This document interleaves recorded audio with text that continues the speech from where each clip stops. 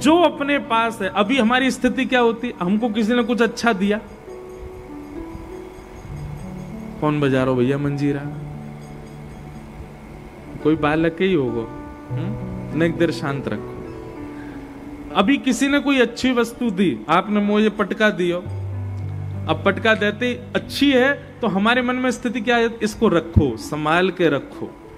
पर ठाकुर जी यदि आपके चित्त में आ चुके हैं या ठाकुर जी आपको अपना बना चुके तो आपकी स्थिति क्या होगी? किसी भी वस्तु के प्रति आपके चित्त में यह भावना आएगी, नहीं, ये बहुत अच्छी है, इसको रख लो। कोई प्रदान करेगा, आप लेंगे ज़रूर, पर उसको रखेंगे नहीं। कोई और दिख गया ना आपको तो आप उसको दे दोगे।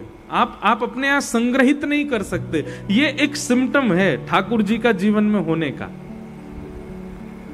आप, आपकी स्थिति प्रदान करने की होगी, मांगने की नहीं, लेने की नहीं, रखने की नहीं होगी, देने की स्थिति हो जाएगी, बांटने की स्थिति हो जाएगी, और हमारे ब्रज भाषा में कहूँ तो लुटावे की स्थिति हो जाएगी, लुटाओगे। और कछुनाए तो स्वयं को ही लुटाए दोगे। सांसारी स्थिति में इकट्ठा करने का मन होता है पर भक्ति पथ पर जब आप चलते हैं, तब देने का मन होता है, लुटाने का मन होता है, बांटने का मन होता है। नंद बाबा लुटा रहे हैं, भर करके, और और उसमें भी ये विचार नहीं कर रहे हैं कि कौन सी वस्तु किसके पास जानी चाहिए। सब योग्य दिख रहे हैं नंद बाबा को। तो ठाकुर जी जीवन में आएँगे तो दूसरी स्थिति क्या होगी कि आपको सब श्रेष्ठ दिखेंगे। कोई कम, ज़्यादा, बड़ा, छोटा, इस प्रकार आप किसी का अनुपात नहीं करोगे। सब आपको सम दिखाई देंगे। आपको सब अच्छे ही लगेंगे। नंद बाबा अटारी पे खड़े है, करके लाखन के रत्न उड़ा रहे हैं। सामने ये नहीं देख रहे हैं कि किसके हाथ में जा रहे हैं। बस लुटा रहे हैं, क्योंकि सब योग्य लग रहे हैं नंद बाबा को। ठाकुर जी जीवन में आएँगे तो दूसरी स्थिति क्या होगी? सब में योग्यता का दर्शन होगा।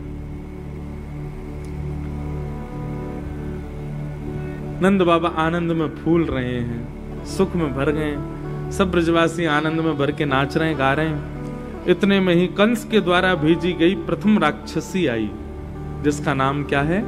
पूतना बहुत ध्यान से सुनिएगा सब लोग।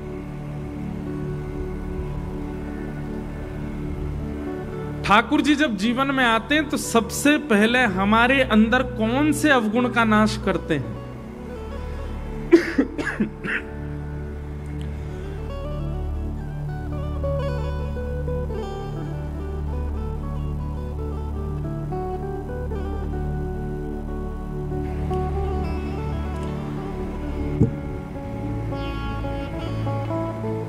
ठाकुर जी जब जीवन में आते हैं तो ये राक्षसों की श्रेणियाँ, ये हमारे अवगुण ही हैं हमारे चित्त के।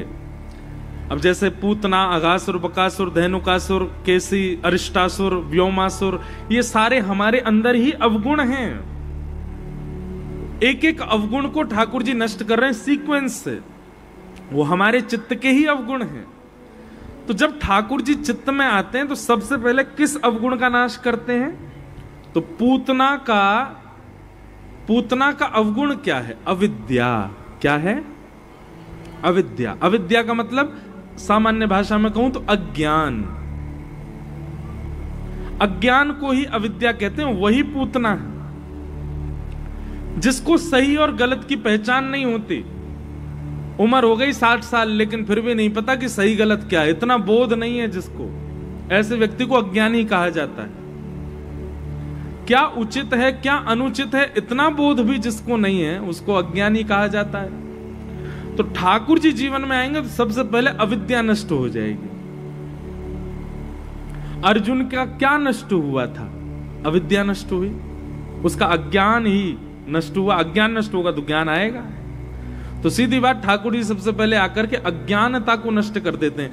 आप देखिएगा, वैष्णव जो होते हैं ना वैष्णव व्यक्ति के पास में ऐसी दृष्टि होती है कि वो सामने वाले के आव भाव से ही पहचान जाता है कि कितने पानी में है।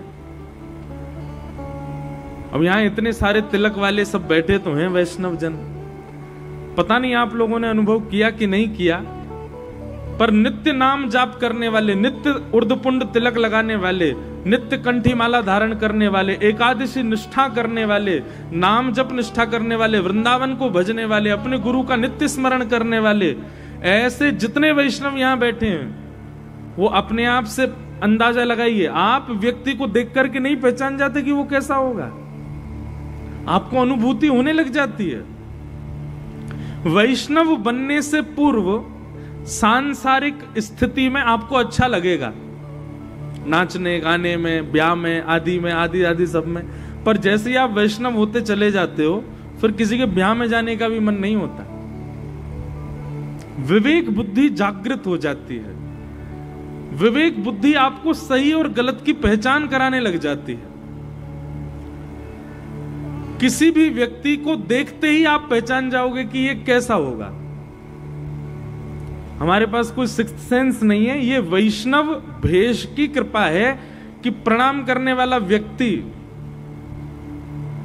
वो वास्तव में वृंदावन किस रूप में भजता है, वो गुरु परंपरा में है कि नहीं है, वो एकादशी निष्ठा करता है कि नहीं, उसके प्रणाम से ही पता चल जाता है कि वो है कि नहीं उस स्थिति में। व्यक्ति के रूप से ही पता चल जाता है। और ये कोई अलग से हमको कोई सिक्स सेंस नहीं मिलता। ये वैष्णव, वैष्णवता से ही आपको विवेक बुद्धि जागृत हो जाती है। कौन व्यक्ति चिकनी चुपड़ी बातें कर रहा है? कौन व्यक्ति केवल बहलाने फुसलाने के लिए अच्छी अच्छी बातें कर रहा है? कौन व्यक्ति वास्तविक बोल रहा है? कौन व्यक्ति झूठ बोल रहा है? ये आप, आपको शब्दों से पता चल जाएगा। ये वैष्णव होने का एक एक एक आ, बहुत सारे प्लस पॉइंट है पर एक ये भी प्लस पॉइंट है कि आप व्यक्ति को पहचानने लग जाते हो। आप स्थिति को पहचानने लग जाते हो। आप माहौल को पहचानने लग जाते हो।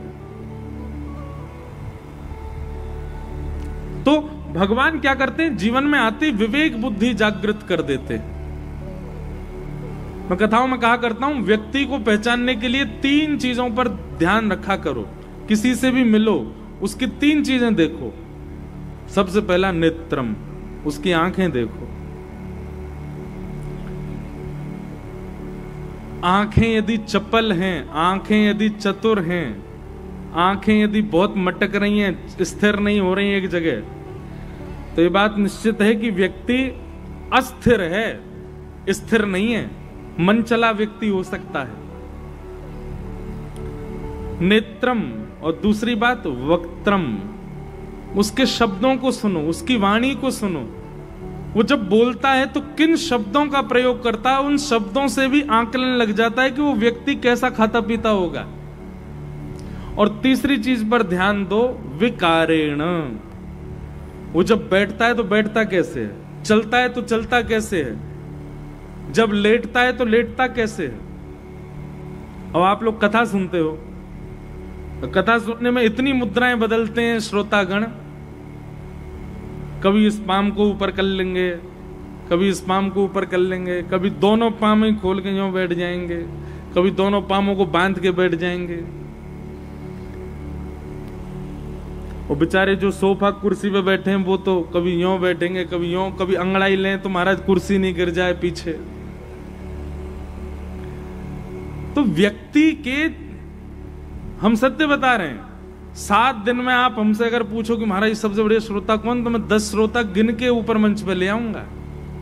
जिनकी मुख की आकृति चार घंटा एक सी रहती है। अब हम वक्ता हैं। हमारे पैर हिलेंगे ही नहीं, ऐसे ही रहेंगे। ऐसे ही श्रोता को भी होना चाहिए। श्रोता को भी एक ही आसन में बैठ करके पूरी कथा सुननी चाहिए। उसके शरीर में बार बार विकार आते हैं बार बार आसन बदलने की इच्छा होती है तो इसका मतलब है उसका मन मन चला है, मन स्थिर नहीं है उसका। मन स्थिर होगा तो एक ही आसन में बैठेगा, सम रहेगा, उसका मुख भी ज़्यादा नहीं घूमेगा। सम मन वाला व्यक्ति कई बार एक या दो मुद्राओं में ही पूरी रात काट देता है निद्रा में, ज़्यादा आसन नहीं, ज़्यादा करवट नहीं लेता। तो तीन चीज़ों से व्यक्ति के मन की स्थिति पता चलती है नेत्रम वक्त्रम और विकारेण लेकिन इसमें भी अगर आप वैष्णव बन गए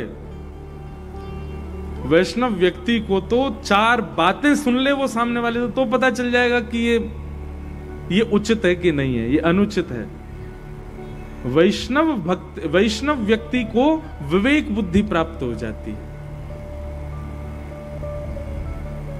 तो पूतना भगवान को मारने के लिए आई। कंस ने उसको भेजा। पूतना ने कहा, मैं रूप बदल करके जाऊँगी, अपने पयोधर में विष लगा के जाऊँगी।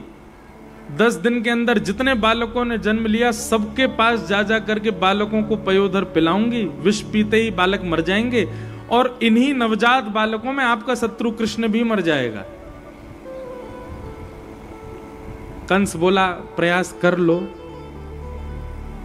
निकल पड़ी पूतना। असंख्य बालकों को मार दिया पूतना ने। और सब जगह मारते मारते बालकों को जैसे ही गोकुल पहुँची, याद रहे, पूतना बहुत सुंदर बन के गई थी।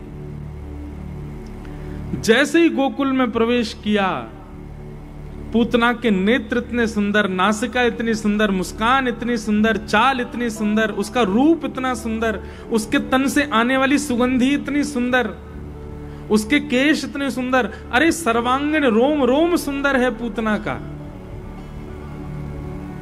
जैसे गजकामनी चाल भीतर गोकुल में प्रवेश करती है पूतना। नंद घरानंद भयो, जय कन्हैया लाल की, हाथी दीने, घोड़ा दीने, और दीनी पाल की, सब ब्रजवासी नाच रहे गा रहे हैं। लेकिन जहाँ जहाँ से पूतना निकलती है और जैसे ही ब्रजवासियों की उस पर दृष्टि पड़ती है वे सब अपना उत्सव मनाना भूल जाते हैं सब उसी को देखने लग जाते हैं। ओहो कितनी सुंदर। अरे स्वयं तो उस पर आसक्त हुए ही दूसरे गाने वाले को ए, ए सुन सुन सुन देखियो कितनी सुंदर जा रही है। एक ब्रजवासी तो दौड़ा दौड़ा अपनी मैया के पास गयो मैया तू मेरे पीछे पड़ी रे ब्याह कर ले ब्याह कर ले। मैया, आज मेरा ब्याह करा दे तू। बोले अच्छा कौन ते करेगो? बोले, वो गोपी आ रही है, एक बात तो मेरा ब्याह करा दे, मैया, देख कितनी सुंदर है। या को रूप तो देखो? अरे भैया, केवल गोप ग्वाल ही उस पर मोहित नहीं हुए गोपियाँ भी मोहित हो गई। श्रीमद भागवत जी में वर्णन है कि जैसे पूतना को गोपियों ने देखा तो गोपियाँ बोली, अरे बहन, हमारी बात तो सांची निकसी। बोले, कैसे? बोले, कल नंद जी को लाला देखो तो देख के ऐसा लगो मानो नारायण ही आयो होगो।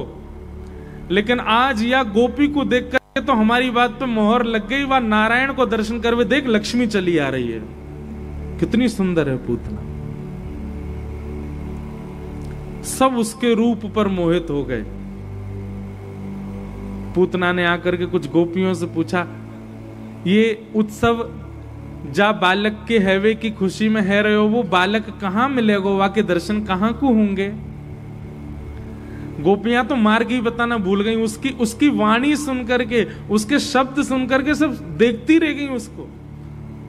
पूतना ने चुटकी बजाई, अरे, आप सो पूछ रही हूँ, ये जाके का जो उत्सव मन रहा हो, वो बालक कहाँ मिलेगा अरे, बहन, ये दो वृक्ष दिख रहे हैं ना, ये वृक्ष जा जा आँगन में, वही है वो बालक, चली जा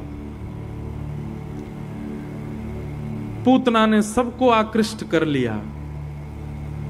जैसे ही नंद भवन में प्रवेश किया, गोदी में लिए बैठी हैं यशोदा मैया लाला, छह दिना के हैं बस अभी।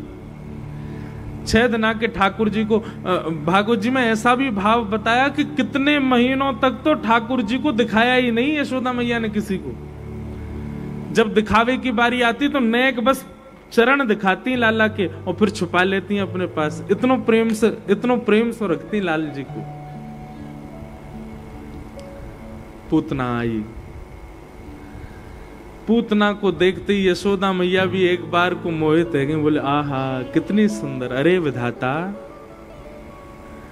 काश इतनी सुंदर तेने मेरे लाला के ताई बहू भेजी होती। वही तो ब्याह कराती अपने लाला को। ठाकुर जी गोद में पड़े पड़े मंद मंद मुस्काए, कह रहे मैया, रुक जा, अभी बहू को रूप दिखाऊँ तो कैसी बहू है? पूतना जैसे ही गई, यशोदा मैया से जाकर के प्रणाम, अरे बहन, कहाँ सो आई हो? बड़ी सुंदर हो। बोले, पास के गाँव ते आई हूँ। आपके लाला हेवे की खुशी की बधाई देवे आई हूँ। दियो तो कैसो लाला आपको?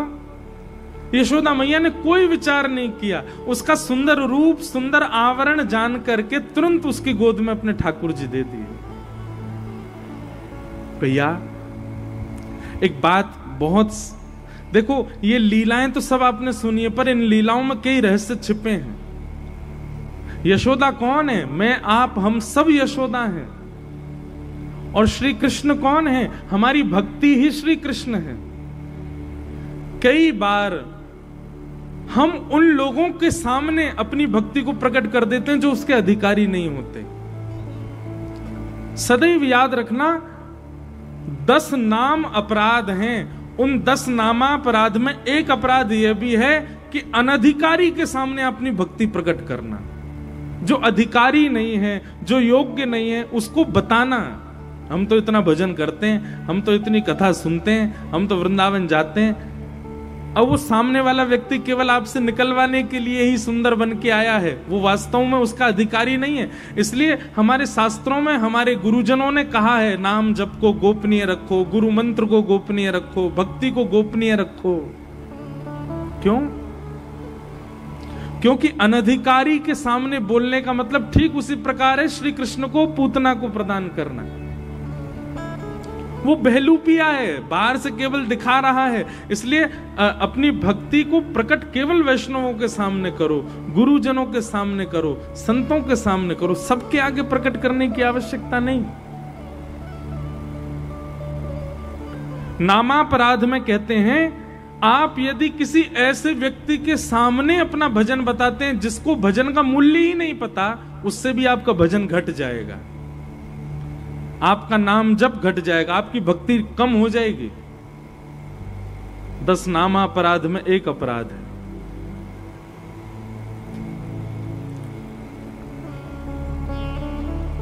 और एक और बात कहें, गुरुजन भी जब तक पूछे ना, तब तक नहीं बताना चाहिए कि आप कितना भजन करते हो। कई लोग होते हैं, वो मिलने आते हैं तो बैठते ही, हम तो हर महीना जाते हैं वृंदावन। महाराज जी हर महीना के उस एकादशी पे हमारा ही बंगला लगता है बिहारी जी में। मैं तो अपना कोई वो रखता नहीं महाराज जी। 200 लोगों को लेके जाता हूँ, बस में बैठा के जलंधर से सबको दर्शन करा के लाता हूँ। इतना काय को प्रकाश करना भाई अपनी भक्ति का?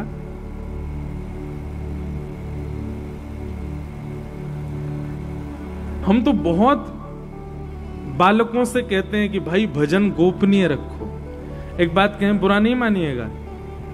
ये जो काउंटर वाला जो नाम जप है ना, कई लोगों की उंगली में लगा होगा। उसमें लोग जपते रहते हैं काउंट करते रहते अच्छी बात है। पर मेरा ऐसा मानना है कि उस पर ना एक टेप लगा के रखा करो। ऐसा टेप जिससे आपको नंबर ना दिखाई दे कि नंबर कितना है। कितना पहुँच गया। भी एक प्रश्न आया कि नाम जप की संख्या कितनी होनी चाहिए? हमारे गुरुदेव कहते हैं, ग्यारह करो। हमारे गुरुदेव कहते हैं, एक सौ आठ करो। हम तो ये कहते हैं, भाई, गिनो मत, करो। गिनती करनी है तो अपने दूषित कर्मों की करो। नाम काय को गिनना? कभी प्रेम गिन के किया जाता है? प्रेमी यदि अपने प्रियसी को या प्रेमी अपने प्रियतम को रोज गिनाता हो कि मैंने तुमको सुबह ये बोला था, मैंने दोपहर में तुमको ये बोला था, मैंने तुमको तब इतना प्रेम किया था, मैंने तुमको तब ये प्रेम दिया था, प्रेम गिना थोड़ी जाता है। नाम जब अगर पुण्य की भावना से आप करते हो कि आपको पुण्य मिले तो तो गिनो, लेकिन प्रेम की भावना से करते हो तो जपना, गिनना बंद कर दो। उसको असंख्य करो। जितना हो सके उतना करो। काउंटर अगर आप रखते हैं तो उस पर एक टेप लगा दीजिए, व्हाइट टेप, जिससे उसका अंदर का वो संख्या नहीं दिखनी चाहिए, कितनी संख्या। आप निश्चित मानिएगा, जितने लोग भी संख्या देख के करते हैं, संख्या देखते ही मान आता है हृदय में। ओहो, इतना नाम कर लिया हमने। संख्या देखते ही दिखाने की इच्छा होती है, इनको दिखा दें। कई लोग हैं काउंटर ऐसे घुमा के बैठते हैं कि सामने वाले को देखे देखो कितना नाम हो गया हमारा। काय को नाम जब गिनो मत।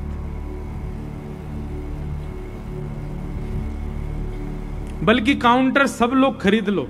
अपनी अपनी उंगली में पहन के रखो। किसी के साथ बुरा करो, दबाओ। हमने ये बुरा किया। किसी के साथ अभद्र बोलो, दबाओ। किसी का, किसी के साथ छल करो, दबाओ। किसी पे क्रोध करो, दबाओ। और फिर रोज रात को सोने से पहले देखा करो ओ हो 108 हो गए आज दिन भर में 108 पाप किए मैंने।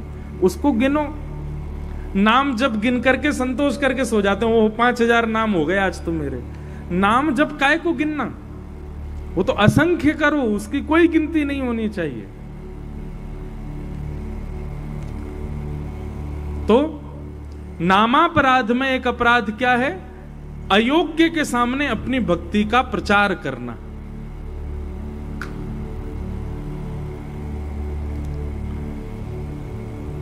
यशोदा मैया ने लाला दे दिए। पूतना ने जैसी गोद में ठाकुर जी को लिया। इतने में कुछ गोपियाँ आई। यशोदा मैया से बोली, मैया, जल्दी बाहर चलो। एक एक पूजा करनी है। यशोदा मैया बोली अच्छा बहन, तुम लाला को संभालो, मैं अभी आऊँ। पुतना बोली हाँ हाँ मैं संभाल रखा है, आप जाओ। यशोदा मैया जैसे ही बाहर आई, और पूतना ने जैसे ही ठाकुर जी को देखा, ठाकुर जी ने दोनों नेत्रों पे हाथ धल लिए। छह दिन के ठाकुर जी ने छोटे छोटे हाथ उठा करके अपने नेत्रन पर धल लिए। कितनी दुर्भाग्यशाली है पूतना। उसके रूप पर सब मोहित हो गए, उसको सब देखना चाह रहे हैं, उस पर सब आकृष्ट हो गए। पर जिसको आकृष्ट होना चाहिए था, जिसको रूप दिखना चाहिए था, जो रूप को देखने वाला होना चाहिए, उसी ने ही आँख बंद कर ली। हमको दुनिया देखे, क्या फ़ायदा? सबको देखती है दुनिया तो पर राधा रमन हमको देखे, ये बड़ी बात है। कई बार अखबार में आता है कि आज पाँच लाख लोगों ने बिहारी जी के दर्शन किए। ये बड़ी बात नहीं है कि पाँच लाख लोगों ने बिहारी जी को देखा। पाँच लाखों में बिहारी जी ने किस किस को देखा? ये बड़ी बात है। पूतना को पूरे ब्रज ने देखा। सब ब्रजवासियों ने देखा। ये बड़ी बात ना है कि पूतना को सबन ने देखो। बड़ी बात यह है कि ठाकुर जी ने देखा कि नहीं देखा? नहीं देखा ठाकुर जी। तो मैं कथाओं में कहा करता हूँ, सभी साधक बहुत ध्यान से सुनिएगा, वो गलती कभी मत करियो जो पूतना करके गई है। नहीं तो महाराज, आपके कितने श्रेष्ठ हो, कितने सुंदर हो, कितने योग्य हो, ठाकुर जी आपको देखेंगे नहीं। कहीं ऐसा नहीं हो कि हम ठाकुर जी के सामने गए और राधारमण जी अपने नेत्र बंद कर लें। क्या गलती की है पूतना ने? पूतना गलतियाँ तो बहुत सारी हैं, पर साधकों के लिए, वैष्णवों के लिए दो अपराध हैं जो पूतना ने किए जिसकी वजह से ठाकुर जी नज़र फेर लेते सबसे पहला, भजन विक्षेप। क्या? भजन विक्षेप। भजन विक्षेप का मतलब? तुम खुद भजन तो करते नहीं हो। लेकिन कोई और कर रहा है तो उसमें टांग अड़ा रहे हो, उसके भजन को रुकवा रहे हो, उसके भजन में किसी ना किसी रूप में विक्षेप डाल रहे हो। अगर आपका ये गुण है, दूसरे के भजन को रुकवाना, दूसरे के भजन में टांग अड़ाना, दूसरे के भजन में दखलंदाजी करना, दूसरे के भजन में डिस्टर्ब करना ठाकुर जी आपको नहीं देखेंगे। ये पूतना ने किया। नंद घर आनंद भयो, जय कन्हैया लाल की नाच रहे, गा रहे हैं सब ब्रजवासी हो पूतना ने आके क्या किया? सबको अपनी ओर आकृष्ट कर लिया, सबको आकर्षित कर लिया। अरे, पूतना के आते ही सारे ब्रजवासी भूल गए कि हमको भजन करना है, हमको कीर्तन करना है, हमको उत्सव मनाना है। सब पूतना को देखने लगे। ये सबसे पहला कारण है कि ठाकुर जी ने पूतना को नहीं देखा। भजन विक्षेप मत करो। बंधुओं कोई साधक यदि आपके घर में है, आपके पड़ोस में है, आपके परिवार में है, और यदि वो कुछ ठाकुर जी के लिए करता है, उत्सव करता है नाम जब करता, कथा सुनता है या कुछ भी करता है, आप प्रयास करो कि विक्षेप मत बनो। करने दीजिए उसको। क्योंकि विक्षेप करता ठाकुर जी को बिल्कुल प्रिय नहीं। बहुत अप्रिय लगता है ठाकुर जी को। तो इसलिए चाहवे कि श्री राधा रमन जी कभी अपने नेत्र हमसे ना फेरें वा के लिए कोई के भजन में विक्षेप मत बनो। सबसे पहला कारण, ठाकुर जी ने पूतना को इसलिए नहीं देखा। और दूसरा कारण, पूतना को ना देखने का जो साधकों के लिए, कारण बहुत सारे हैं ना देखने के, पर साधकों के लिए पूतना में दूसरा ऐसा क्या अवगुण है कि ठाकुर जी ने उसको नहीं देखा? कि पूतना अपनी वास्तविकता को छुपा करके जा रही है। वो अपने मूल रूप को छुपा करके गई है ठाकुर जी के सामने। वैष्णव को चाहिए, वो जैसा है वैसे प्रस्तुत हो ठाकुर जी के आगे। अपने मूल रूप को ना छुपाए। सूरदास जी का एक बहुत सुंदर पद है, मुझे बहुत अच्छा लगता है। कौन कुटेल खल कामी मौसम, कौन कुटेल खल काम मौसम, कौन कुटिल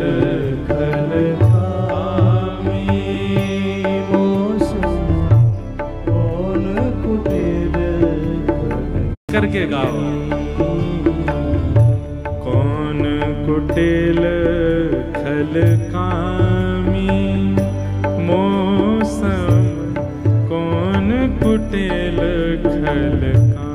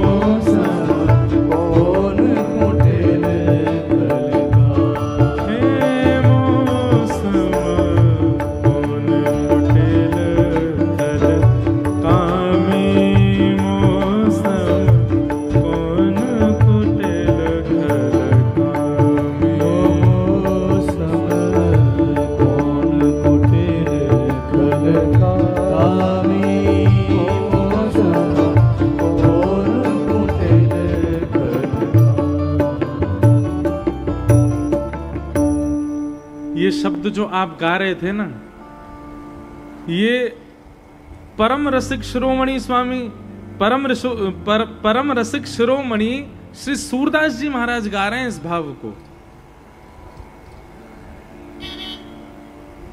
जिनको साक्षात ठाकुर जी के दर्शन होते थे। ऐसे सूरदास जी महाराज कह रहे हैं कौन कुटिल खलकामी मौसम? एकाध कोई गलत बात अपने लिए नहीं कही है। कितने सारे शब्द कहे। और अंत में तो कलम ही तोड़ दी, बोले, क्या पापी कौन बड़ो है मोते? सब पति तन में नामी, पापियों में नामी हूँ मैं। सूर पतित को ठोर कहाँ है?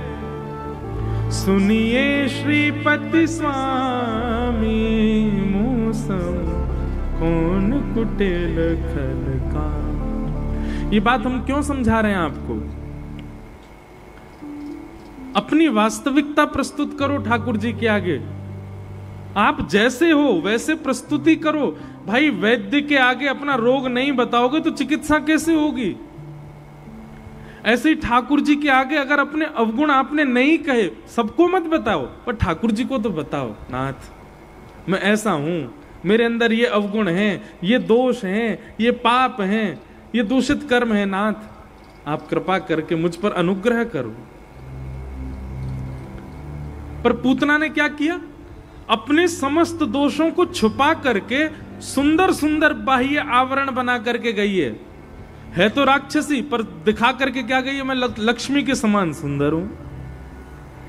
ठाकुर जी कहते हैं, जो इस प्रकार के आवरणों से ढक करके लाता है स्वयं को, मैं ना देखूँ बाकू? मेरी दृष्टि ना पड़े वापे इसलिए भैया, साधकों को इन दो बातों का ध्यान रखना चाहिए, कि अगर ठाकुर जी के नेत्रों से आपको, ठाकुर जी के नेत्रन में बसना हो तो एक तो कभी किसी के भजन में विक्षेप मत बनो। और दूसरा, जैसे हो यथार्थ ठाकुर जी के सामने प्रस्तुत करो स्वयं को। छुपाओ नहीं। आज अगर किसी को देख के ईर्ष्या हो गई ना, तुरंत जाइए अपने गोपाल जी के पास। बोले, वो सामने वाले को पता नहीं, उसकी उसकी उपलब्धि देख के मुझे ईर्ष्या हो रही है, नाथ। आप कृपा करके मेरी ईर्षा को नष्ट करो। आप यदि इस प्रकार अपने समस्त अवगुणों को तुरंत प्रस्तुत करेंगे ठाकुर जी के आगे, ठाकुर जी लिए महाराज झाड़ू ऐसी लगावेंगे आपके हृदय में, कोई अवगुण प्रकट ही नहीं हो पाएगा फिर। आप उस अवगुण को प्रकट होने के बाद में प्रकट रहने देते हैं, इसीलिए वो अवगुण सदा के लिए बस जाता है। तुरंत ठाकुर जी को बताओ, अरे भाई, कमरा में कॉकरोच घुस गया, तुरंत मैया के पास जाते दौड़ के। हमको छपकली से डर लगता है। कमरा में छिपकली आ जाए तो मैं तो पूरे घर को अधर कर दूँ। तुरंत भगाई जाती ना। अब उस छिपकली को अगर आपने 10-5 दिन तक नहीं हटाया तो वो अपने जगह बना लेगी कमरे में। जैसे उसको भगाने जाओगे तो वो सीधी वहीं भगेगी जहाँ से कोई निकाल ही नहीं सकता। एक्सपीरियंस्ड हूँ मैं। ठीक वैसे ही अवगुण चित्त में प्रकट हुआ। अवगुण जन्म से नहीं होते हमारे अंदर। धीरे धीरे धीरे धीरे आते हैं। जैसे ही कोई अवगुण आता है, आज किसी की ऐसी बात पर क्रोध आ गया जिस पर आना ही नहीं चाहिए था, फिर भी आ गया आपको। तुरंत जाइए अपने ठाकुर जी के पास, गुरुनाथ। इतनी बड़ी बात नहीं थी, मुझे क्रोध आ गया। आप कृपा करो, मेरा ये क्रोध शांत हो। तुरंत ठाकुर जी के सामने प्रस्तुत करोगे, तुरंत ठाकुर जी लिए महाराज, जो भी अवगुण आया, चित्त में तुरंत उसको ध्वस्त करेंगे। लेकिन आप क्या करते हैं? क्रोध आ गया, अब क्रोध आ गया तो उसको भीतर ही रहने देते हैं। कभी ठाकुर जी के आगे प्रस्तुत नहीं करते तो भीतर ही रहा रहा, वो अपनी जगह जगह स्थान बना लेता। फिर ठाकुर जी से जब आप बहुत दिन बाद कहते हो ठाकुर जी ढूंढते हैं, वो मिलता ही नहीं, कहाँ घुस गया भीतर? अवगुण का तुरंत प्रस्तुतिकरण ठाकुर जी के सामने करो। समझ में आई बात? नहीं तो अवगुण घर बना लेंगे आपके चित्त में। और फिर कथाएँ सुन सुन के, सुन सुन के महाराज, पूरा जीवन धक्का खाते रहो, तब भी अवगुण निकल नहीं पाएगा। इसलिए आज से अभी से नियम बनाओ। जो अवगुण आता है। ठाकुर जी के पास जाने का भी समय नहीं है। नेत्र बंद करके राधा रमन लाल जी का स्मरण करो। किसी पे क्रोध आए, तुरंत आप राधा रमन जी का स्मरण करने लग जाओ। आहा, चाँद सा मुख लटे घूंघरारी हैं। भोए हैं कटीली आँखें, तिरछी कटारे होया के मधुर रसीले वचन। हो मेरा, या पे अटक गया मन। कहाँ गया क्रोध? भाज गया। खत्म। काम उत्पन्न होता है चित्त में। काम उत्पन्न होते, तुरंत नेत्र बंद करो। राधा वल्लभ लाल जी का स्मरण करो। जय जय राधा वल्लभ प्यारो हरि वंश जय जय श्री वृंदावन, श्री वन चंद्र काम नष्ट हो जाएगा उसी समय। आप अवगुण के आते ही ठाकुर जी को भूल करके उस अवगुण की इच्छा को पूरी करवाते हैं। इसलिए अवगुण रुक जाता है आपके चित्त में। ये भजन कीर्तन तब नहीं गाना है जब कथा हो, तब नहीं गाना है जब सब समाज मिले, तब गाना है जब जीवन में अवगुण आते हैं। कीर्तन करो, किसी पर क्रोध आ रहा है, कीर्तन करो। इन इन स्थितियों में कीर्तन करो। आपका क्रोध, काम ईर्षा द्वेष, अभिनिवेश, अहंता, ममता, चिंता सब नष्ट हो जाएगी। बच्चे कहा नहीं मानते चिंता हो रही है, कीर्तन करने लग जाओ। चिंता खत्म। ये सूत्र हैं और ये सुनने से काम नहीं चलेंगे, ये प्रैक्टिकल करने पड़ेंगे। तो अपने अवगुण को ठाकुर जी के सन्मुख प्रस्तुत करो। भगवान ने पूतना को नहीं देखा। पूतना ने जैसे ही अपना पयोधर भगवान के मुख में दिया, भगवान ने उसके विष को पिया, दूध को पिया, पुण्यों को पिया, पापों को पिया, और अंत में ठाकुर जी ने दोनों छोटे छोटे हाथों से उसके पयोधर को पकड़ करके प्राणय समम रोष शमन वितो पिबत। गाढ़म कराभ्याम भगवान प्रपिड्य भगवान ने जैसे ही उसके प्राणों को खींचना शुरू किया, अब तो पूतना पकड़ करके ठाकुर जी को दूर खेचे, लेकिन ठाकुर जी और कस के पकड़े और उसके प्राणों को पीने लगे। जैसे ही प्राण पीने लगे, अपने अपने वास्तविक रूप में आने लगी, राक्षसी बनने लगी। विशाल विकराल स्वरूप हो गया। सामुंच मुंचाल मित प्रभाषणी चिल्लाने लगी, अरे बालक छोड़, अरे बालक छोड़। ठाकुर जी को पकड़ करके पूरे ताकत से खींच रही है, लेकिन ठाकुर नेक्स्ट से छह दिना के ठाकुर जी जन कहाँ तक ताकत आ गई? ऐसी पकड़ रखी है पूतना, और जैसे ही पूतना कहने लगी, छोड़ छोड़ छोड़, सो ठाकुर जी ने पयोधर मुख से निकाला। और छह दिना के ठाकुर जी बोले, मौसी जी, हम पे तो पकड़वई आवे, छोड़नो ना आवे। और एक बार जाकू पकड़ ले ना, चाहे वो भगत हो, चाहे राक्षस हो फिर तो ठिकाने लगा के ही छोड़े वहाँ छह दिना के ठाकुर जी जैसे ही बोल पड़े, महाराज, पूतना तो व्याकुल हो गई। भगवान ने उसके प्राणों को खींच करके गोविंदाय नमो नमः। बोल, पूतना, मर्दन भगवान की धड़ाम से पूतना का विशाल शरीर गिरा। सब ब्रजवासी दौड़ करके गए। जाके देखा तो महाराज राक्षसी पड़ी है। पूतना के पयोधर से ठाकुर जी को उठाया और सब ब्रजवासी लेकर के गौशाला गए। गौशाला में ले जाकर के ठाकुर जी के द्वादश अंगों पर गौरज लगाई। गौमूत्र से स्नान कराया। बंधुओं भागवत जी में वर्णन आता है, भगवान ने पूतना को वो सदगति प्रदान की जो माता यशोदा को मिलनी चाहिए। अहो, वकीयम स्तन काल कूटम जिघांक्षया पायदप्य साध्वी, लेभे गतिम धातृचिताम ततुन्यम कंबा दयालुम शरणम ब्रजेम भगवान ने पूतना को वो गति प्रदान की जो माता यशोदा को मिलनी चाहिए। क्यों? देवताओं ने पूछा, पूतना में ऐसा क्या दिख गया आपको जो आपने उसको यशोदा मैया की गति दे दी? भगवान बोले, कोई शस्त्र से मारता है, कोई अस्त्र से मारता है। हमको पूतना का मारने का स्टाइल बहुत बढ़िया लगा। बताओ, ये माँ के भांति पयोधर पिलाने से हमको मारने। देखो, इसीलिए कहते हैं, न जाने कौन से गुण पर दया निधि रीझ जाते हैं। ठाकुर जी को ना जाने हमारा कौन सा गुण बढ़िया लग जाए। एक बार रामानुजाचार्य जी ने श्री जगन्नाथ भगवान के, जगन्नाथ जी कितने लोग गए हाथ ऊपर करो? वाह भैया जलंधर वासियों यहीं रहते हो क्या आप लोग? अरे कभी कभी निक्षय करो, पंजाब से बाहर। भैया, कितने बिल्कुल चार पाँच लोगों ने उठाए बस। कब जाओगे? इसी साल जाओ जितने उन्हें हाथ नहीं उठाए। सब जगन्नाथपुरी होके आओ। भाई, हर साल एक धाम तो जाया करो, ठाकुर जी को प्रणाम करने। तो जगन, अब अब, आप गए नहीं हो तो कैसे बताऊँ? जगन्नाथ जी के पंडा पुजारी जो हैं, वो बड़े अद्भुत ही हैं। अलग ही हैं, बिल्कुल पूरी दुनिया से अलग हैं हमारे जगन्नाथ जी के पंडा पुजारी। तो एक बार रामानुजाचार्य जी ने क्या किया? सारे पंडा पुजारियों को मंदिर से बाहर कर दिया। बोले, आप लोग जो है अपनी मनमानी करते हो जगन्नाथ भगवान के साथ? हम वैदिक ब्राह्मणों के साथ जगन्नाथ जी की सेवा करेंगे।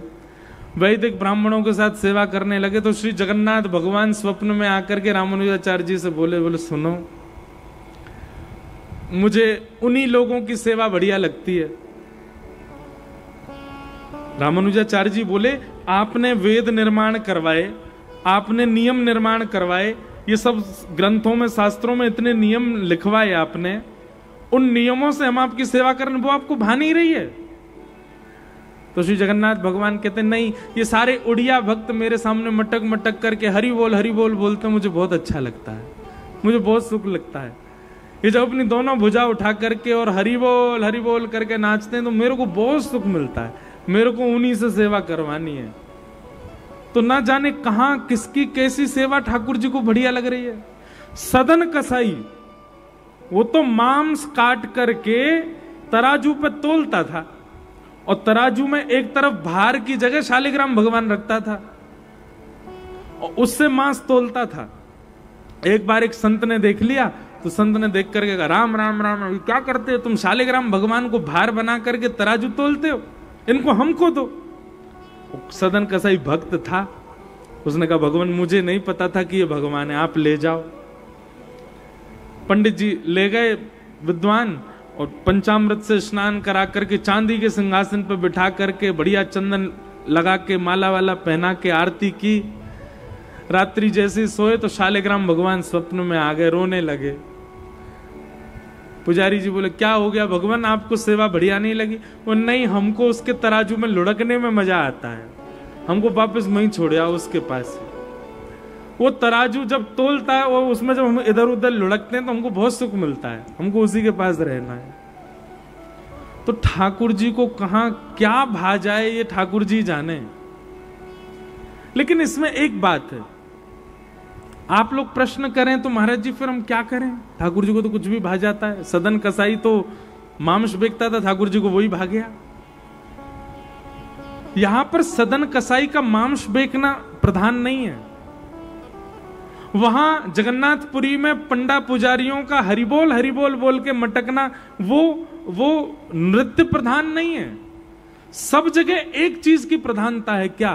भोलापन, सीधापन। सहजता, सरलता, वो ठाकुर जी को ज़्यादा प्रिय लगती है। आप जितने चतुर बनोगे, ठाकुर जी उतने दूर रहेंगे।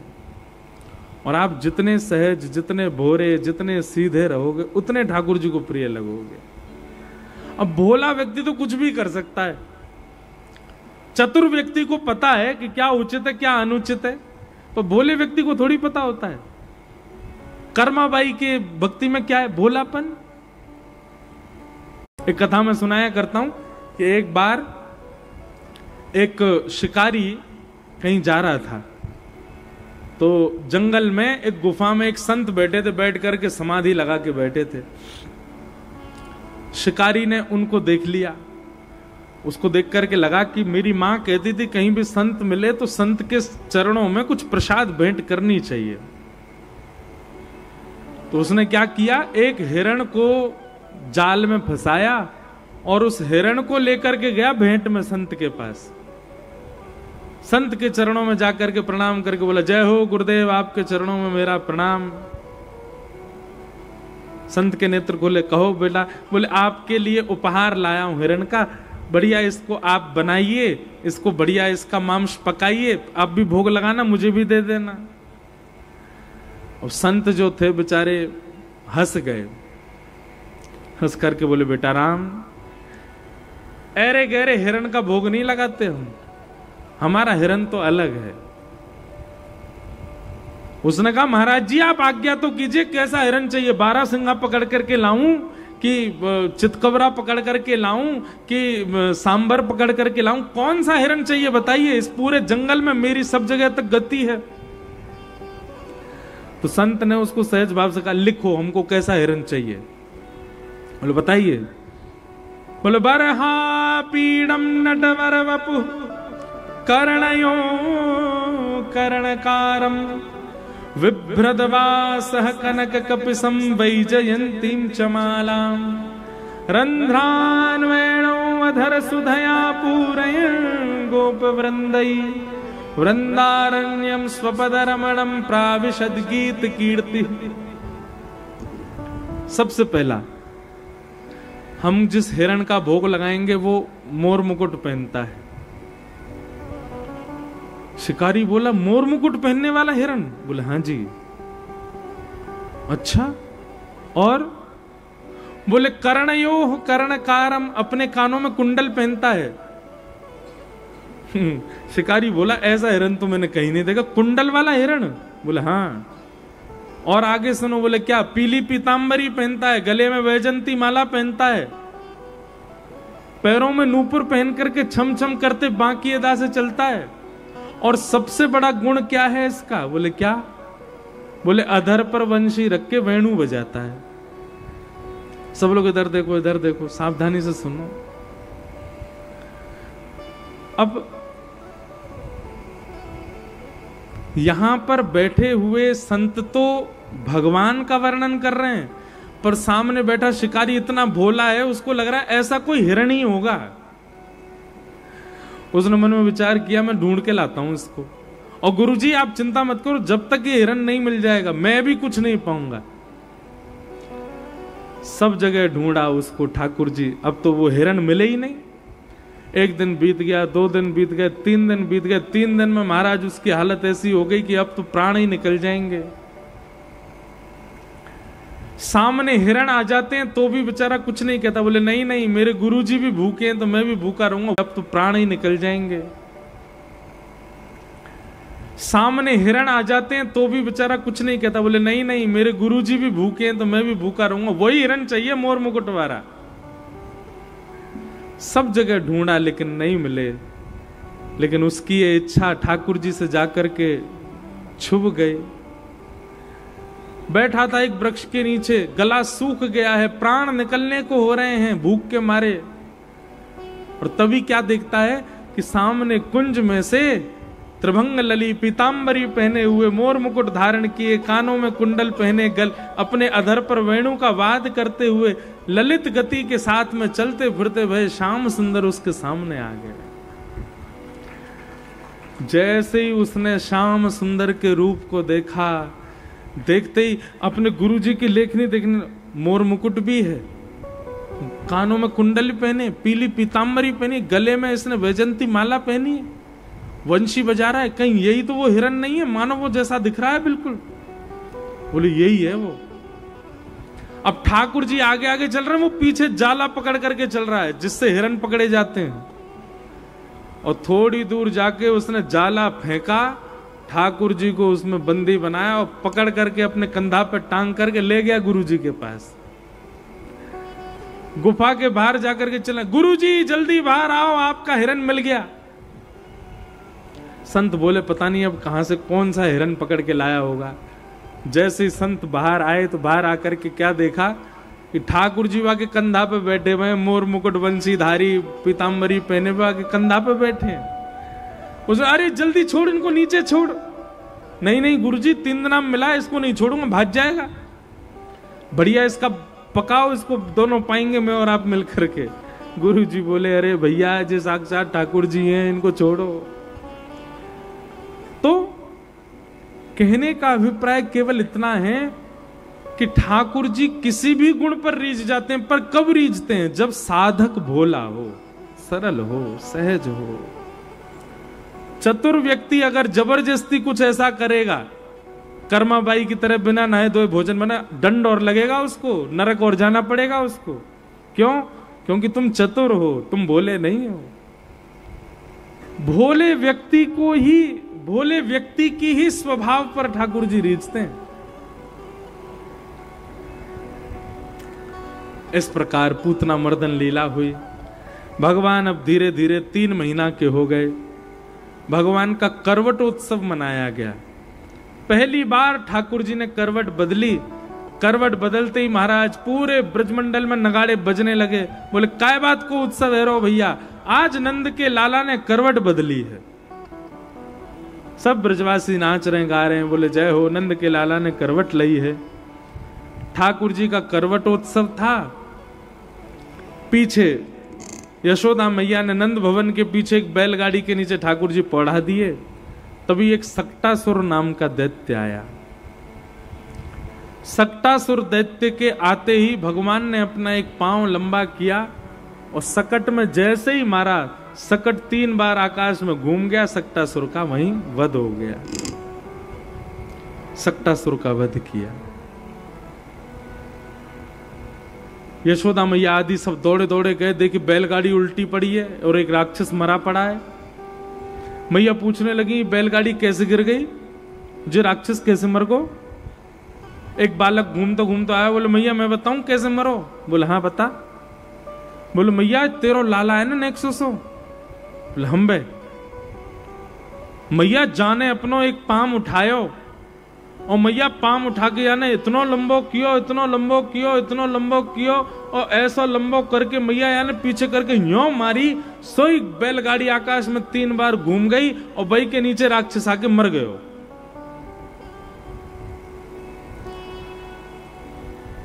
मैया बोली, यहाँ पे आइयो। जैसे समीप गयो मैया ने एक दियो वाके कान के नीचे। झूठ बोले? नेक सो सो मेरो लाला, तीन महीना को भयो अभी। यो कह रहा यानी इतना लंबो पाम कियो, लंबो करके मार दियो। झूठ बोले मुते मैया, तेरी सौगंध खा के कह रहा हूँ, मैं सांची बोल रहा हूँ, तेरे लाला ने इतना लंबो पाम कियो, मेरे सामने मैंने देखी। मैया बोली, दोबारा आ यहाँ पे। फिर तो एक दियो वहाँ में। सुकाचार्य जी वर्णन कर रहे हैं। अप्रेमयम बलम तस्य बाल कस्य नते विदु। बालक झूठ नहीं बोल रहा है। बालक तो सच बता रहा है कि ठाकुर जी ने लंबा पाँव करके बैलगाड़ी में मारा। लेकिन यशोदा मैया स्वीकार नहीं कर रही है कि मेरो लाला ऐसो कर सके। ठाकुर जी मंद मंद किल किल करके हंस रहे हैं, बोले अच्छा है। ये ब्रजवासी, ये स्वीकार ही नहीं करेंगे कि मैं भगवान हूँ। क्यों? क्योंकि प्रेम की प्रेम की प्रधानता जहाँ होती है, वहाँ प्रभुता नहीं दिखती। प्रभुता वहीं दिखेगी जहाँ प्रेम कम होगा। आपको किसी व्यक्ति की योग्यताएँ दिखाई देती हैं तो इसका मतलब उससे प्रेम नहीं है आपको। जहाँ प्रेम बहुत ज़्यादा होता है ना, वहाँ योग्यताओं का दर्शन कम होता है। जैसे माँ और पुत्र का संबंध, पुत्र कितना भी श्रेष्ठ हो जाए माँ के लिए वो सम ही रहेगा। माँ के लिए वो अतिश्रेष्ठ नहीं हो सकता। इस प्रकार ठाकुर जी के संग लीला हो रही है।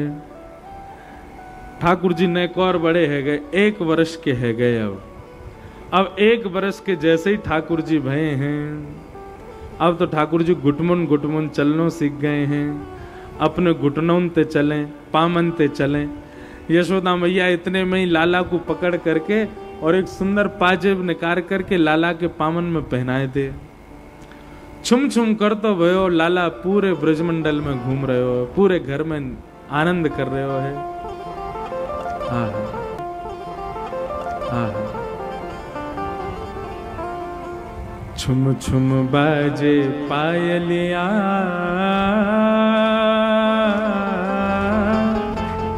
छवि देख लावे कान्हा। मेरे घर आए लाला मेरे घर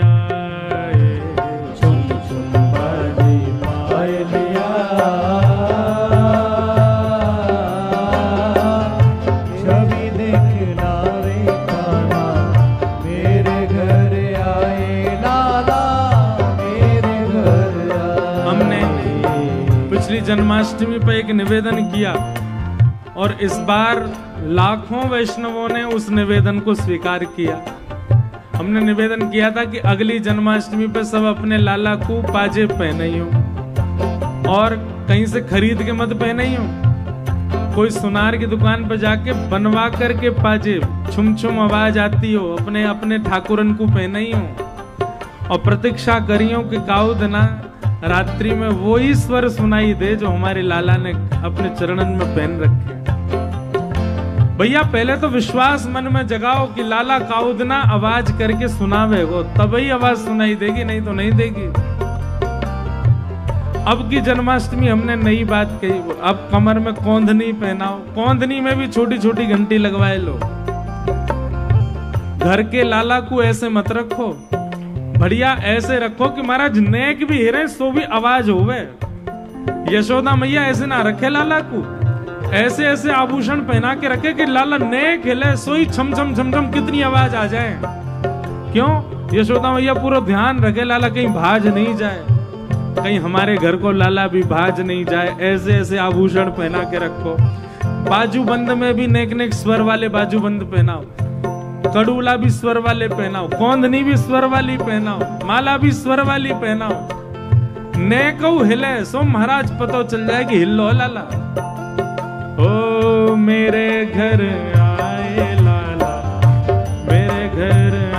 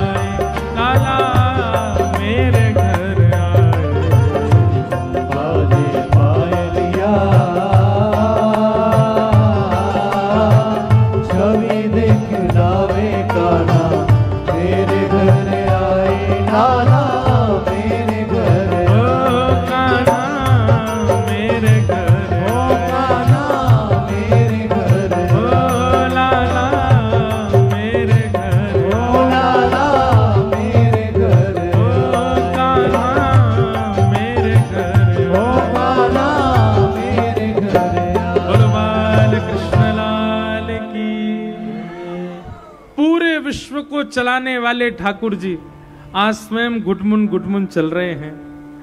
यशोदा मैया दो उंगली लाला के आगे करे, सोई लाला अपनी कोमल उंगली इनसे यशोदा मैया की उंगली पकड़ लें। मैया जैसे ही लाला को उठावे, सोई ठाकुर जी खड़े हो जाएँ। मैया नेक नेक चलावे, लाला नेक नेक चले, सोई मैया अपने हाथन को हटा ले अब ठाकुर जी कभी इतकू जामे, कभी उतकू जामे, घबरा जामे, रोते रोते मैया से कहे, मैया, मैं गिरवे बार हूँ। अब बोल तो सके ना है। लेकिन ठाकुर जी की ये सब छवि देख करके आकाश के सब देवता कह रहे हैं, जय हो, धन्य है ठाकुर जी। पूरे विश्व को चलाने वाले आज स्वयं चलना सीख रहे हैं। धीरे धीरे ठाकुर जी चलना सीख गए। अब ठाकुर जी बिना सहारे के भी नेक नेक धीमे धीमे अपने चरणन को आगे बढ़ा करके चल ले में। अब यशोदा मैया एक एक करके स्टेज बढ़ा रही है ठाकुर जी के। कैसे? ठाकुर जी को पकड़ करके मैया ले गई, अब कहा? बोले, अब दहली पार करनो सीख लाला। अब तो चलना तो सीख गए हो। अब आजकल तो घरों में दहली होती नहीं। पुराने मंदिरों में भी मिलती हैं ऊँची ऊँची दहली होती हैं। यशोदा मैया लेके गई लाला को और मैया तो दहली लांग जाए, अब ठाकुर जी देखे लाला आजा सो ठाकुर जी पहले तो दहली देखें जी कैसे लांगू मैं। अपने पाम उठा में अब मैया के समान लंबे तो है नहीं तो एक पाम उठा में और ऊपर जैसे ही रख दें दहली के, सो नीचे वालो पाम जो है खिंच जाए। सो ठाकुर जी रोने लग जाए। आहा, कितनी सुंदर छवि है ठाकुर जी की। धीरे धीरे मैया ने नेक नेक ठाकुर जी को सहारो दियो कि नेक चढ़नो सीख गए। अब दो चार दिन में ठाकुर जी दहली पर चढ़नो तो सीख गए। धीरे धीरे मैया ने नेक नेक ठाकुर जी को सहारो दियो कि नेक चढ़नो सीख गए। अब दो चार दिन में ठाकुर जी दहली पर चढ़नो तो सीख गए। अब मैया कह रही है, पल्ली पार उतर, लाला। तो ऐसा है कि जहाँ ते ठाकुर जी चढ़ रहे हैं, वहाँ से दहली ऊँची कम है। पल्ली तरफ़ जहाँ उतरनो में गहरी बहुत ज़्यादा है। सो ठाकुर जी चढ़ तो गए। अब चढ़ कैसे चढ़े ने आँख बंद करके सब लोग इमेजिनेशन करो। उसका उसका रूप देखो। श्री नारद जी महाराज इसका वर्णन कर रहे हैं। श्रुतिम अपरे स्मृतिम अपरे भजंतु भव भीता, नीतिम अपरे।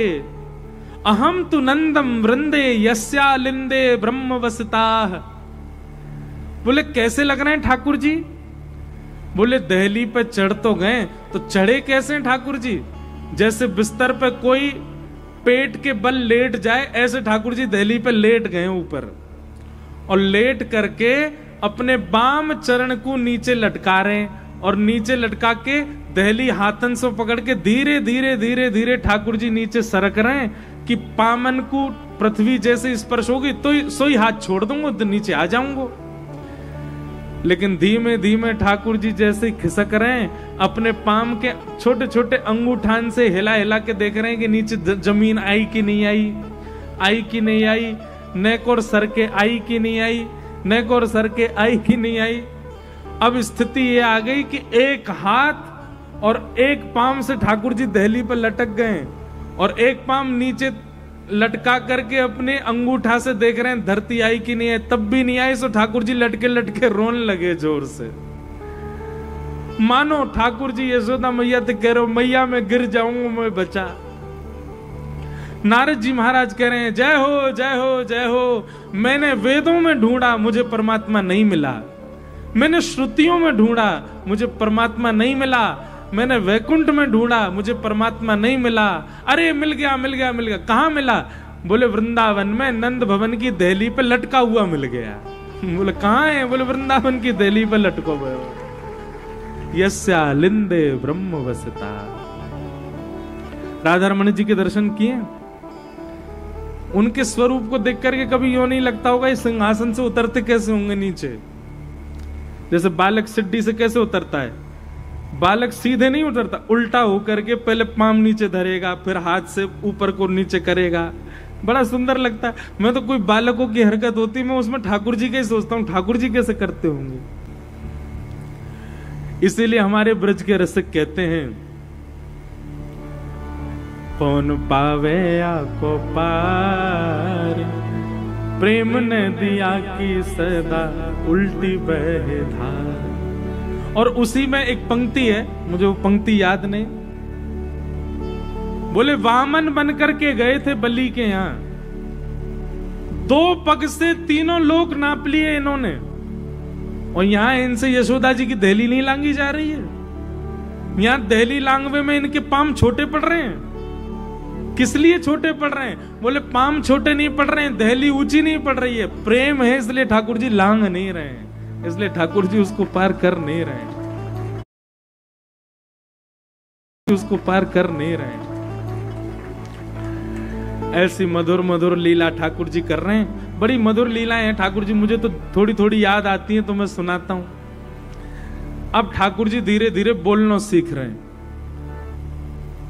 रोज नंबर लगता है, सब आते हैं ठाकुर जी के पास आके बोलते हैं, यशोदा मैया के लाला बोल, मैया नंद नंद बाबा कहते हैं, बोले, ना बोलो बाबा। बलराम जी आते हैं, बोले, नहीं बोलो भैया। गोपियाँ आती हैं, अपना अपना नाम बुलवाती हैं। ठाकुर जी मंद मंद मुस्काते हैं, किसी का नाम नहीं बोलते। ठाकुर जी ने सबसे पहले क्या बोला, पता है? मैया पीछे पड़ी रहती, लाला गोद में लेके, लाला बोल मैया, लाला बोल मैया, लाला बोल मैया। ठाकुर जी एक दिन मैया यमुना जल भरने जा रही, लाला ऐसे कमर पर लटका रखे हैं और गागरी पकड़ करके जा रही हैं। ठाकुर जी मैया की चुनरी पकड़ करके वासों खेल रहे और खेलते खेलते ठाकुर जी बोले, गैया। सबसे पहले शब्द ठाकुर जी ने कहा, बोलो, गैया। बोलो, गैया मैया की। अब यशोदा मैया, वर्ष के ठाकुर जी है गए तुतरा तुतरा करके बोलना सीख गए एक दिन मैया की गोद में लेटे हैं और मैया से कह रहे हैं कहा चंद्र खिलो नाले हूँ सो मैया मोरी चंद्र खिलौना ले हूँ। सब लोग गाओ। चंद्र चंद्र खिलौना ले हूँ सो मैया मोरी चंद्र खिला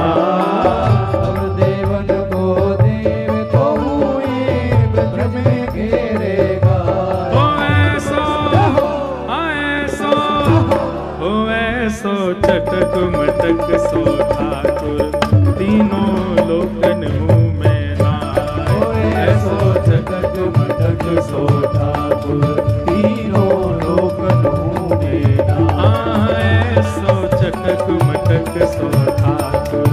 तीनों लोकन मुँह में नाय ऐसो जगत मटक सो ठाकुर। तीनों और कैसा है लाला?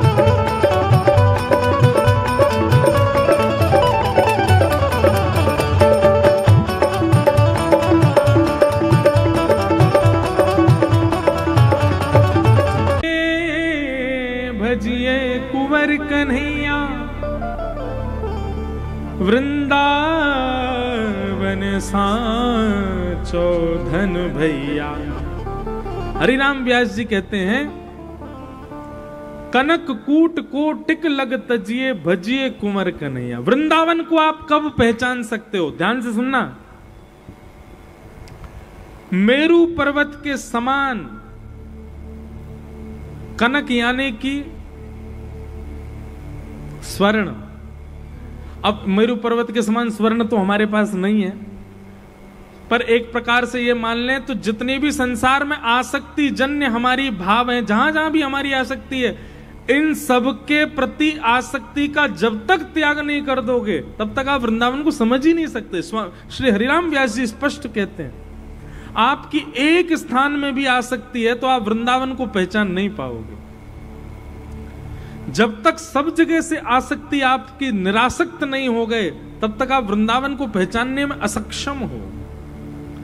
कनक कूट कोटिक लग तजिए जब तक इतना बड़ा त्याग नहीं करोगे, भजिए कुंवर कन्हैया। ठाकुर जी को भजो सबको त्याग करके, तब कमा पाओगे किसको? बोले, वृंदावन सांचो धन भैया।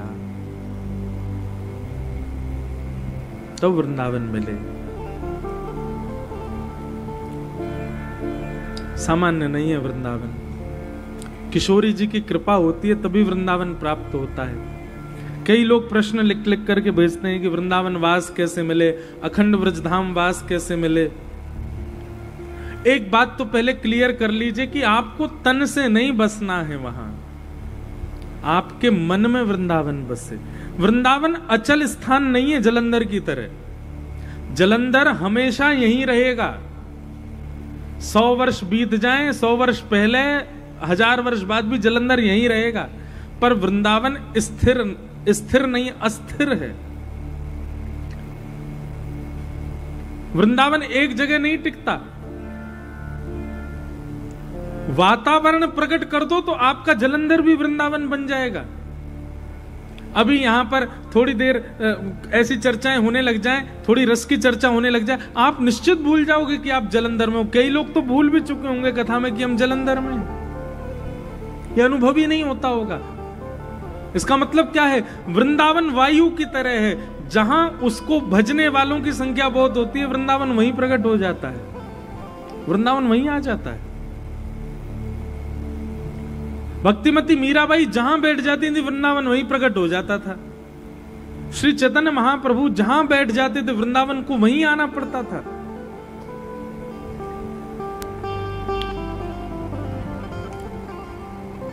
तो इसका मतलब क्या है? स्वामी श्री हितरवंश महाप्रभु के एक परम शिष्य हुए, उनका नाम था वीठल दास। क्या नाम था? वीठल। विठल नहीं, वीठल दास। तो वीठल दास जी के चरित्र में आता है कि आप एक दिन यमुना तट पर बैठे थे और श्री हितरवंश महाप्रभु आदि सब आचार्य जन बैठ के चर्चा चल कर रहे थे, राज, राधा वल्लभ जी का राजभोग पा रहे थे। तभी जूनागढ़ से, गुजरात के जूनागढ़ से प्रधानमंत्री पद के लिए एक निमंत्रण पत्र आया। और इतरवंश महाप्रभु ने जैसे उस पत्र को पढ़ा तो उसमें लिखा था कि, हे महाप्रभु जी आपके चरण सेवक श्री विठल दास जी को हम बहुत योग्य समझते हैं प्रधानमंत्री पद के लिए। आप कृपा करके उनको प्रधानमंत्री पद स्वीकार करने की आज्ञा दीजिए।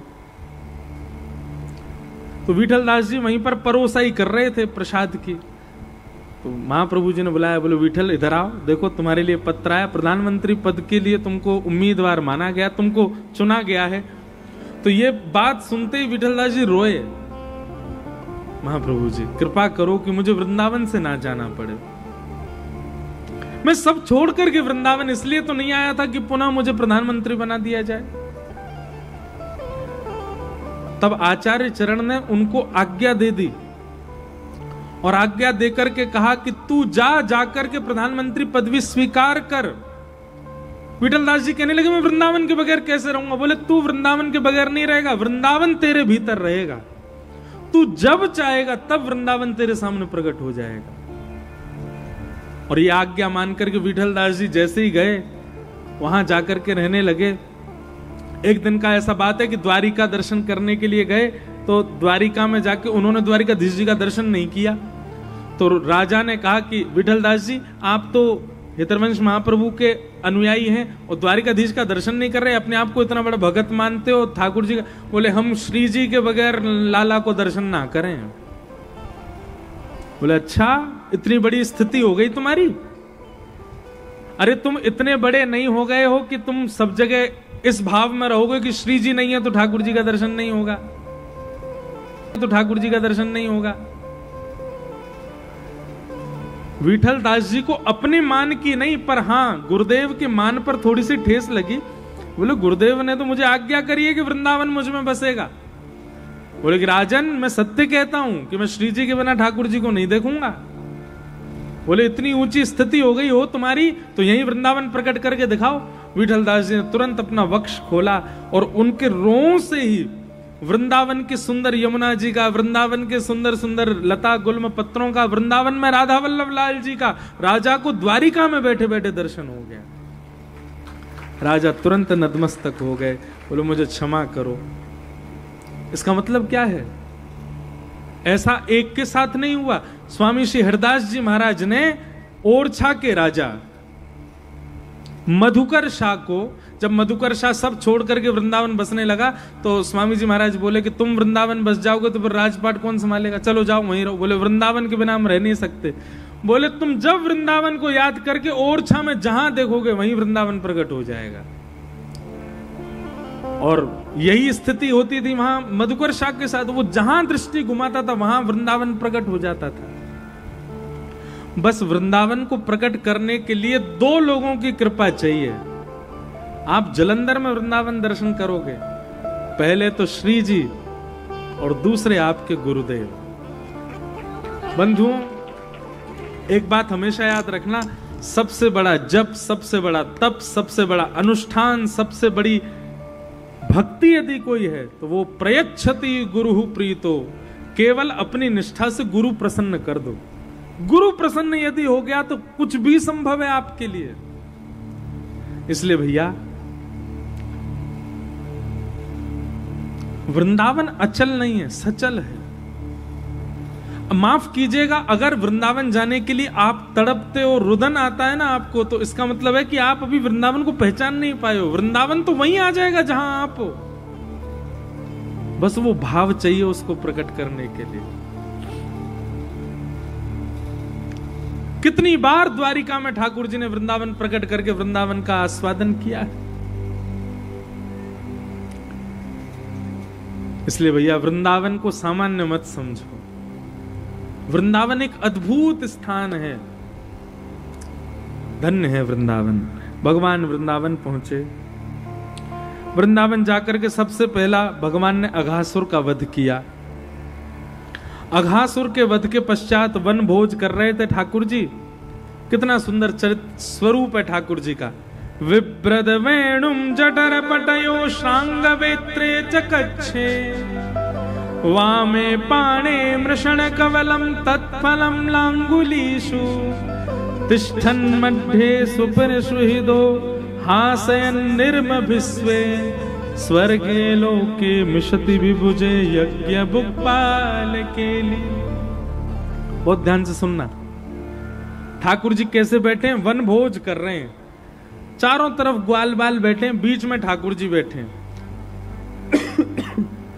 वो कैसे बैठे बोले, वामे पाणे मृषण कवलम, अपने बाम हस्त कमल में ठाकुर जी ने रोटी घुमा घुमा के ऐसे पकड़ रखी है।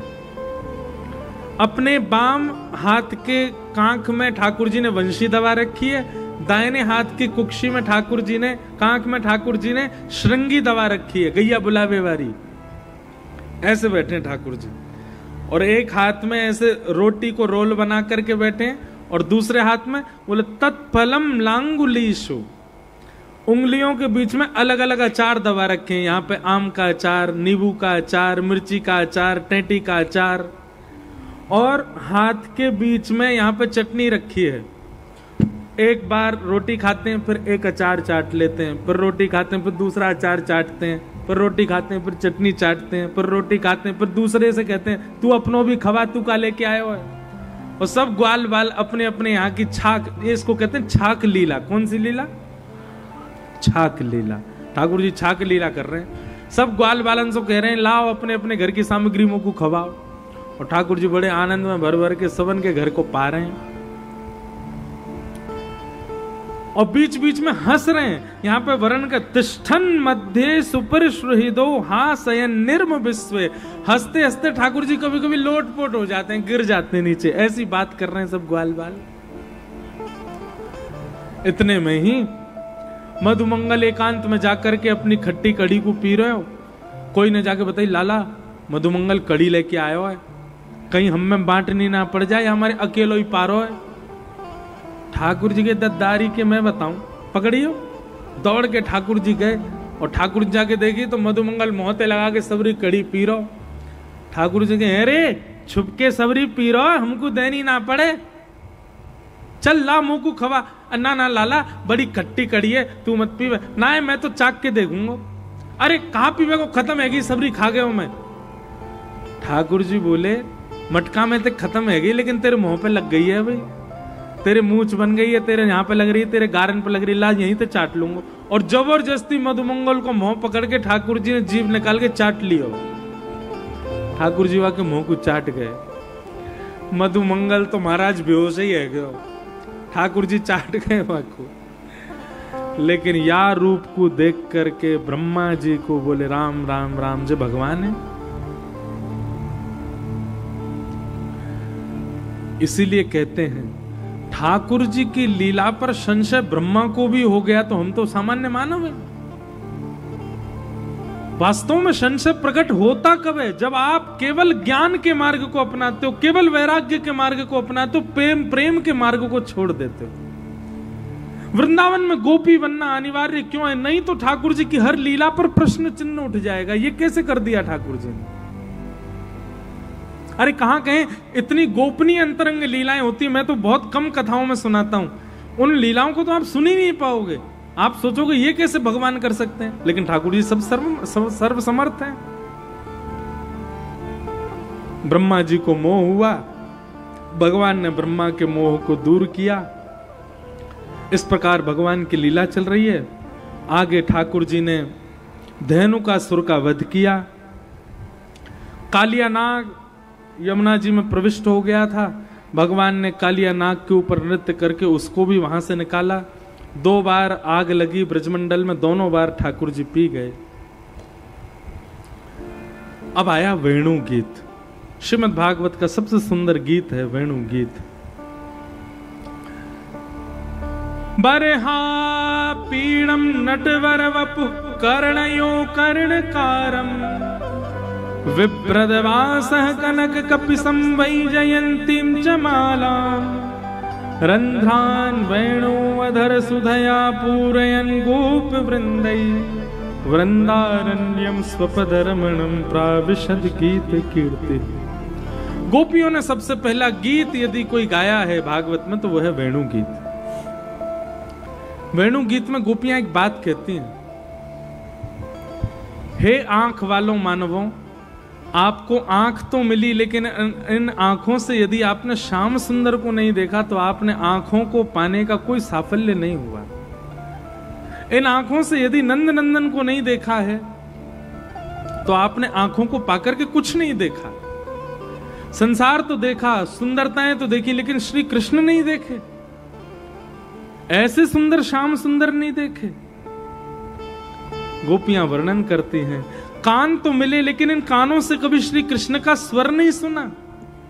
हाथ तो मिले, लेकिन इन हाथों से कभी कृष्ण को छू करके नहीं देखा। वक्ष तो मिला, लेकिन इससे कभी कृष्ण का आलिंगन नहीं किया। पैर तो मिले, लेकिन इन पैरों से कभी श्री कृष्ण के साथ थिरक करके नृत्य नहीं किया।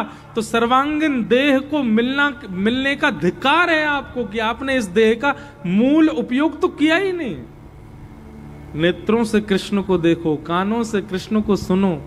जिहुआ से उनके अधरामृत का रस ग्रहण करो, हाथों से उनका स्पर्श करो, वक्ष से उनको हृदय से लगाओ, पैरों से थिरक करके उनके साथ नृत्य करो। सर्वांगीण देह को मिलने का साफल्य कब है जब इस देह को श्री कृष्ण अंगीकार करें? गोपियाँ कहती हैं, बिना कृष्ण अंगीकार किए यदि आपने प्राण त्याग दिए तो आपने पृथ्वी पर आकर के अपना पूरा जीवन व्यर्थ गवा दिया।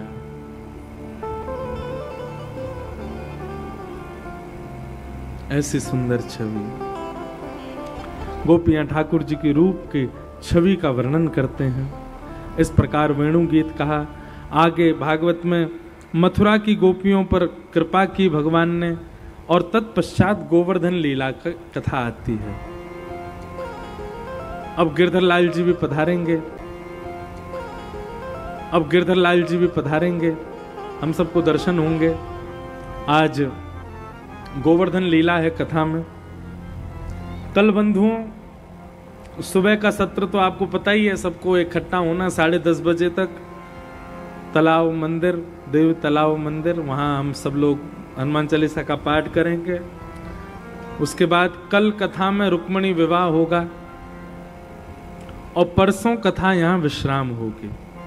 दोनों दिन कथा का समय यही रहेगा। वैसे तो परसों हमें निकलना है, लेकिन परसों हम सोच रहे हैं कि हम ठीक छः बजे मंच पर बैठे ही जाएँगे, ताकि नौ, साढ़े नौ बजे तक कथा करके और फिर हिसार प्रस्थान करेंगे। हिसार में चार दिन का जगन्नाथ रसामृत श्री जगन्नाथ जी की रस कथा का वहाँ पर वाचन होगा, उसको श्रवण करेंगे। आइए अब गोवर्धन लीला की ओर हम सब लोग बड़े प्रेम और भाव से चलें।